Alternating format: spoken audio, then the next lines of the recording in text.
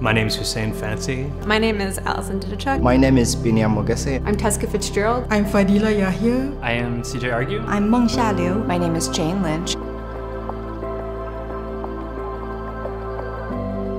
I am a scholar of medieval Europe and the Islamic world. I work on herpes viruses, which are incredibly common human pathogens. I'm a historian of Southeast Asia. My lab studies fundamental mechanisms of human reproduction.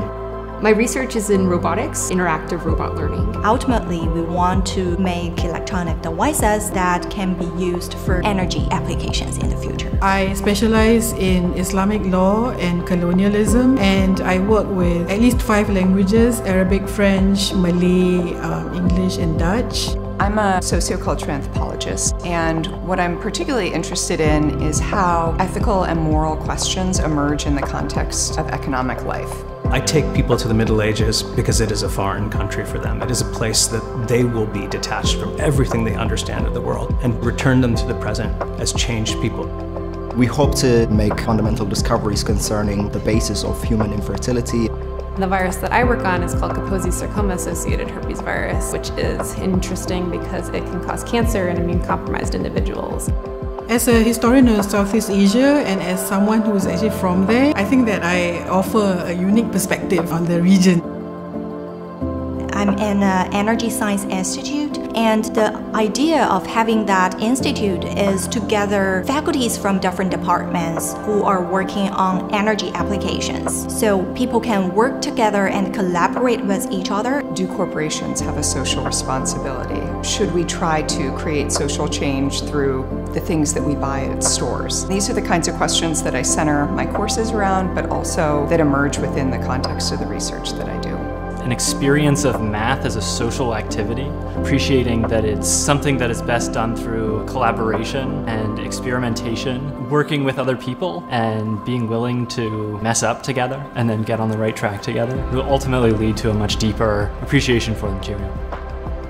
What I hope to achieve from here is things that would not have been possible in other places. That is scholarship, interactions and collaborations across different disciplines. We are working on a very interdisciplinary research that will combine material science, chemistry, and electrical engineering. I hope to build a strong, happy lab full of scientists from all walks of life.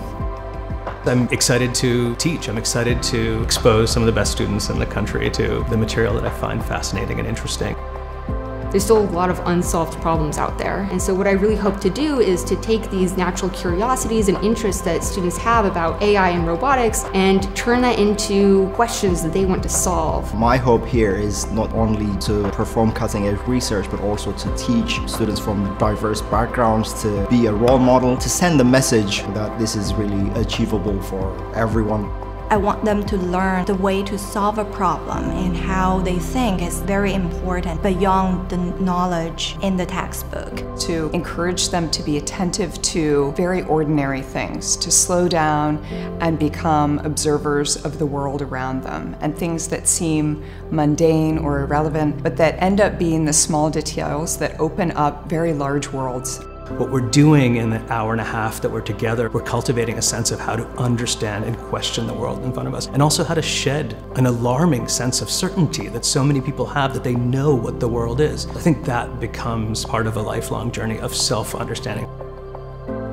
Research problems are problems that by definition have not been solved by anyone before, and so there's going to be a lot of obstacles. So the biggest question isn't necessarily how much do you know about this topic, but rather how long are you willing to stick with this and continue to learn even after you make mistakes and even after an approach doesn't work until you come across the right solution. I think that kind of stubbornness is ultimately what makes a researcher successful.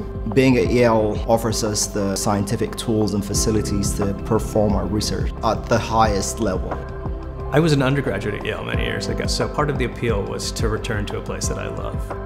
What attracted me to Yale was the Yale History Department, which is a top history department internationally. What attracted me to Yale is just how much computer science and engineering are growing here. Everybody is so invested in teaching as much as they are in their own scholarship and learning.